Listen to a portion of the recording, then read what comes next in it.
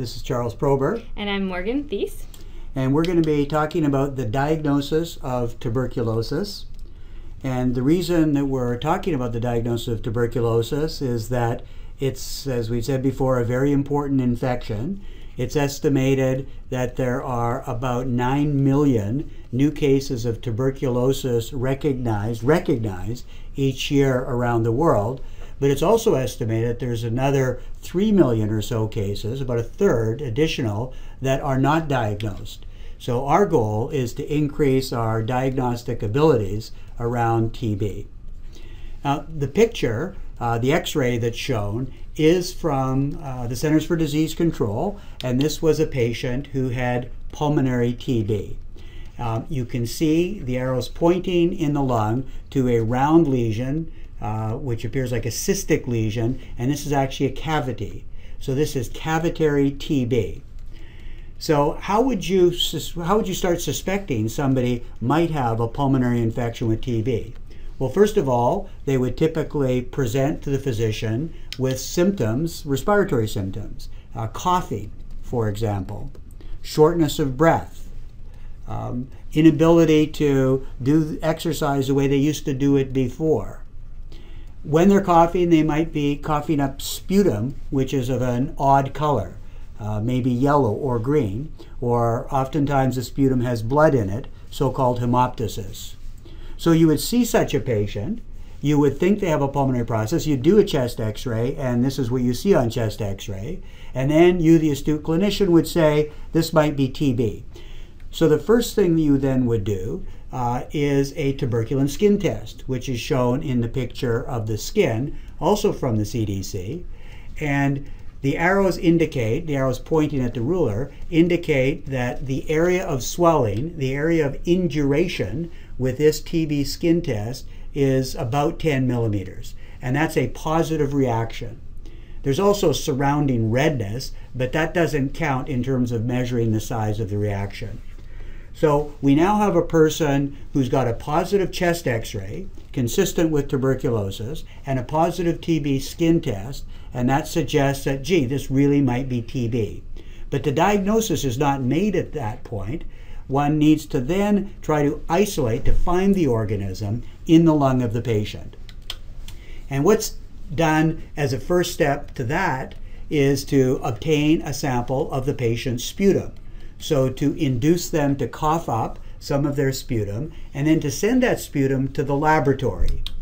And in the laboratory, the first thing that they will do after you've told them you're suspecting TB is they will do a TB specific stain looking for AFB, acid fast bacilli. There are several TB specific stains. Um, one, for example, is called the Ziehl Neelsen stain, which is abbreviated the ZN stain. And these are good staining techniques, but they're not hugely sensitive, meaning that even when TB is present, the stain may only be positive about half of the time. So that's not good enough. The next thing that the laboratory will do is to take that specimen, actually whether it's positive on a TB stain or negative, and set it up on culture media that facilitate the growth of the tuberculous bacilli. And there are some very specific culture media that the laboratory will use for that purpose. The only problem with culture is that it takes a while. So it takes four to eight weeks for a culture to become positive if TB is actually present. But it's important to do because culture is much more sensitive, much more reliable in detecting the TB if it's present than the stain was. So instead of 50%, it's more like 80%. And also, you need to grow the TB to confirm its identity and also test whether it's killed by a variety of different antibiotics, antibiotics directed against the TB. Um, and that actually, that's called sensitivity testing, meaning determining whether the particular TB isolate is sensitive, is killed by different kinds of antibiotics. Okay, and so this is often a point of confusion because we're using sensitive in two different ways. So when we say sensitivity testing here, we're actually talking about how sensitive is my patient's tuberculosis bug to all the antibiotics we have, right? E- exactly. Okay. And sensitive up here, the sensitive the sensitivity of a test is just of all the people who actually have this disease, how often are we going to get a positive test? Exactly, and a, and a very important distinction because it is the same word with very different meanings. Right. Thank you for that clarification. Another test that can be done on the sputum or the specimen from the patient uh, is actually molecular testing. And a molecular test that may be used is something called PCR, polymerase chain reaction. And this is a laboratory based test that looks for some DNA and then puts it through a process that augments the amount of DNA present. Uh, in, the, in the laboratory, it does that. So if there's even a very small amount of DNA present, this PCR test may be positive.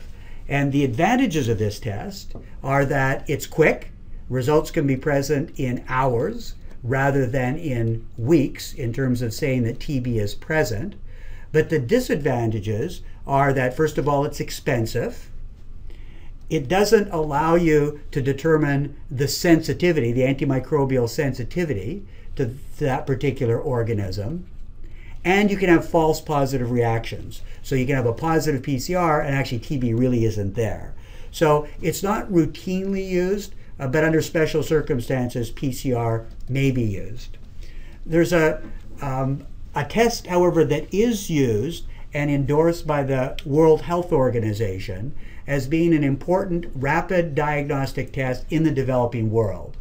And this test is also based upon molecular techniques in trying to detect uh, the parts of the tuberculosis, and it's called the Xpert, um, meaning it's uh, an expert kind of test, I suppose, MTB, which stands for the Mycobacteria tuberculosis, Okay. slash RIF. And RIF stands for rifampin, which is one of the important drugs to treat tuberculosis. And what this test does is it allows the rapid detection of the presence of TB, for example, in sputum. Concomitantly, it allows you one to determine whether that TB that's present is rifampin resistant. That's the RIF part. Very important, again, especially in the developing world. Results may be present. You may get results in, again, a few hours, like the PCR test. So it's actionable quickly. Mm-hmm. The downside is that it really is quite expensive.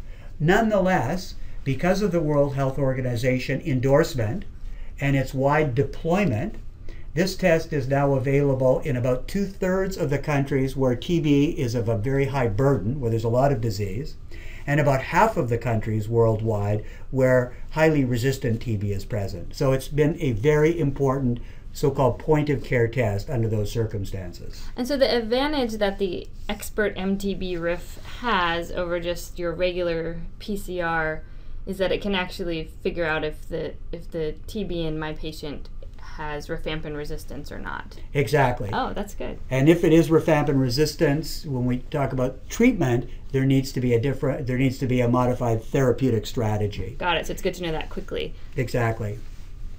So there may be a circumstance where on your table the chest x-ray is positive, but the tuberculin skin test is negative. And this may be maybe because the chest x-ray is not representing TB, uh, or it may be that the skin test is falsely negative, either because it's an overwhelming infection and then the immune system may not be kicked in enough to cause a positive skin test, or it may be that it's so early in the infection that the skin test is not yet converted. So if you're still suspecting TB based upon the clinical presentation, the positive chest x-ray, but the skin test isn't positive, you still may want to go through the diagnostic testing that we've spoken about.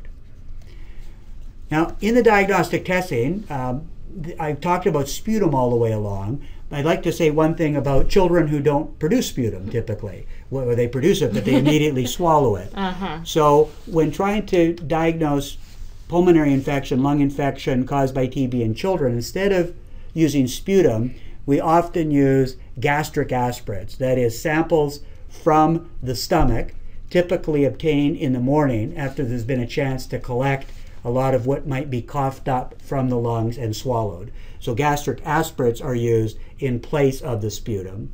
And I also should say that in some patients, you can't get a good sputum specimen, they just don't produce it. Uh, and maybe the infection is very distant in the lung.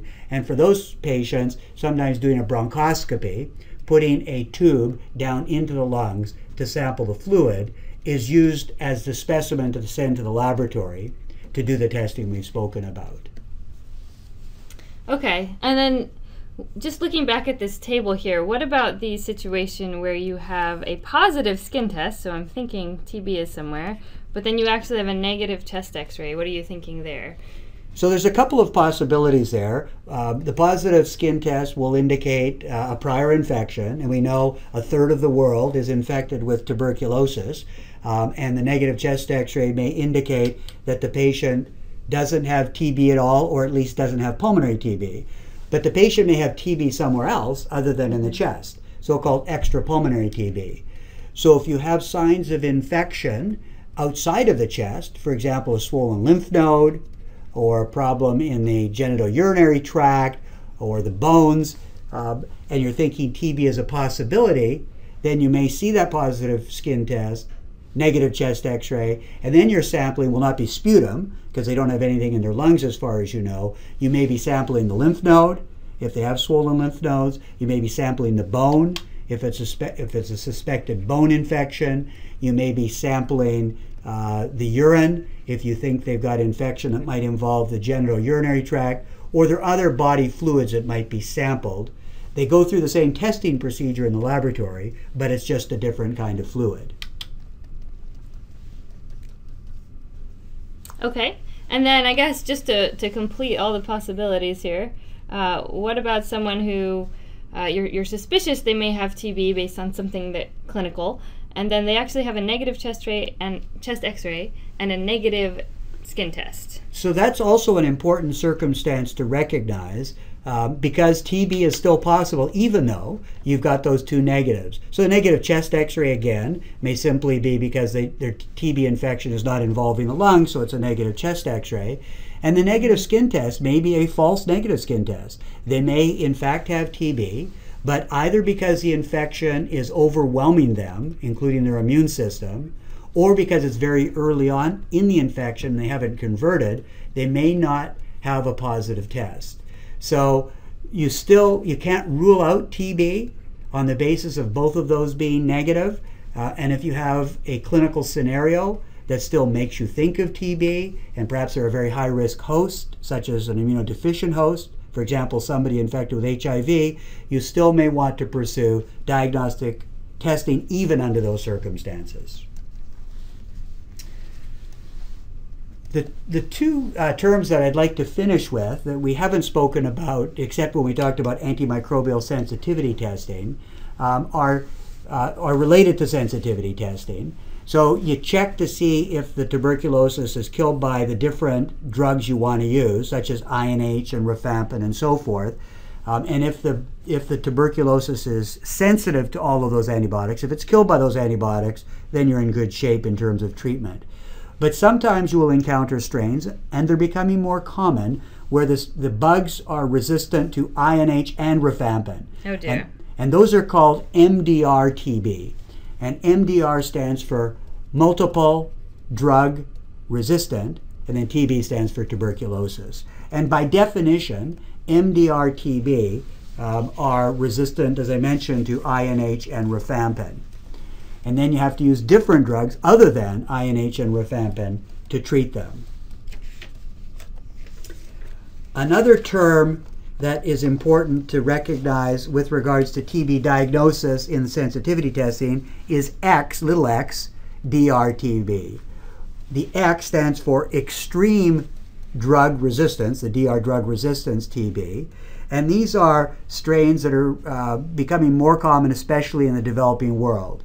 So they also are resistant to INH and rifampin, like MDR-TB, but they're also resistant to several other anti-tuberculous agents. And it gets a little complicated, but I'm going to say it because it's important for people to know about these XDR-TB.